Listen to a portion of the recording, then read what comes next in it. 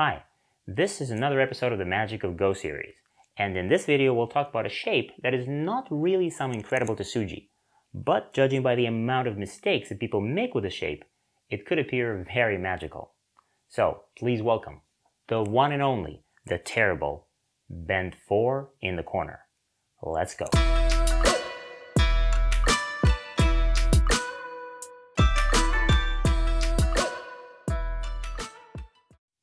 So the shape in question is this one.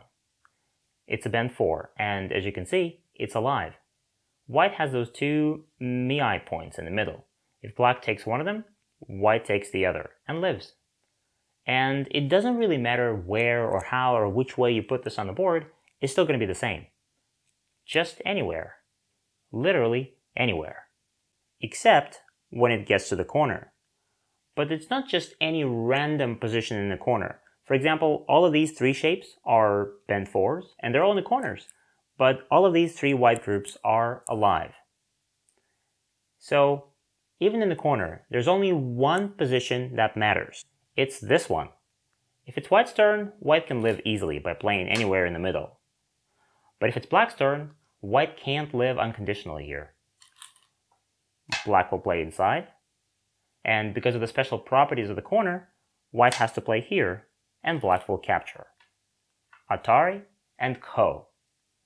Now white has to look for a Ko threat, and if it's not big enough, black will capture everything. Here white has no outside liberties, and if white has one, nothing really changes, but if white has two or more, it's not even Ko. Black will play inside, white does the same thing, black captures, but now White doesn't have to play Ko anymore. White has enough liberties to simply Atari and squeeze black. This connection is a suicide, so the only thing that black can do is just Atari from the outside, white captures, and white is alive. So it's a simple direct Ko. Anybody can read this. Why are we even talking about this? What's the catch? It's not about this position by itself. It's about some other shapes that can be reduced to this one. For example, these three. These shapes really look like seki, except they're not. Let's look at this one for example. It's a kind of one-sided seki because white really can't do anything here.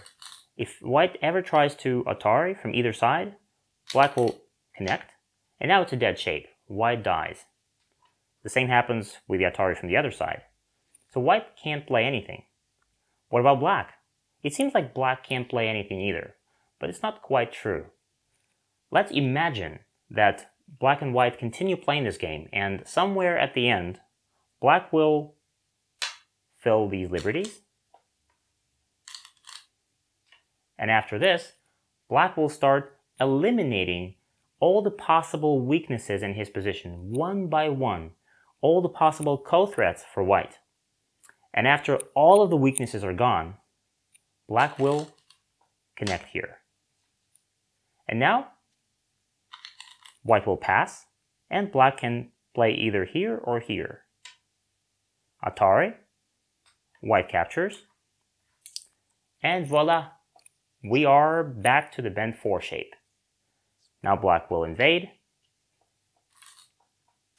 white plays here, and black starts the ko. And black is really well prepared for this ko. There are no ko threats for white, which means that black wins this ko easily and without a fight. And none of this is actually going to happen because everything I just told you is purely theoretical. So we take it all back.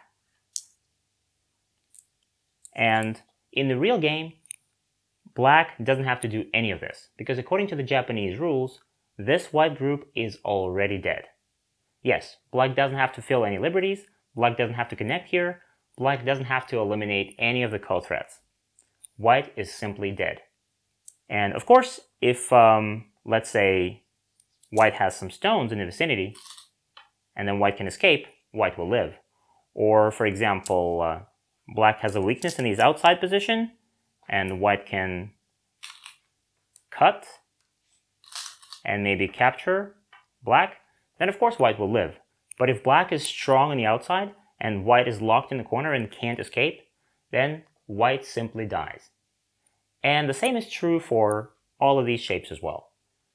This one seems like Seki, but after black fills these liberties, black can play here and turn this into a bent 4. White will capture and it will be Ko.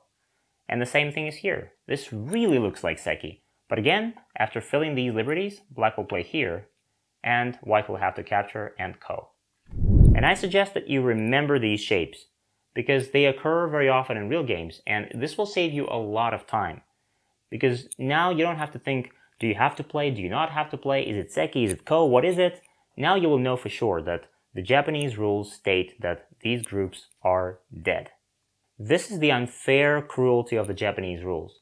And if you're playing with the Chinese rules, for example, all of this can be resolved very easily because not only the territory is counted, but also every stone you place on the board. So you can easily fill all the liberties, you can eliminate all of the ko threats, and you can do all that without losing a single point, point of territory. And after that, you simply win this ko. But this wouldn't really be Go magic if I didn't show you a really cool way of living with the shape, even though the Japanese rules state that it's dead. Check it out. This shape is exactly the same. But here there's also this corner. Black and white are both alive on this double ko here. But what it means for the game is that white has an unlimited supply of ko threats. So even with the Japanese rules, this group is not dead yet. This ko threat is not small at all, and there's no way for black to eliminate this. So black has to either let go or play the ko. It's time for some problems, and here's another one for you to solve. Black to play. What's going to happen in this corner? And now let me show you the solution to the problem from the previous video. It's black's turn.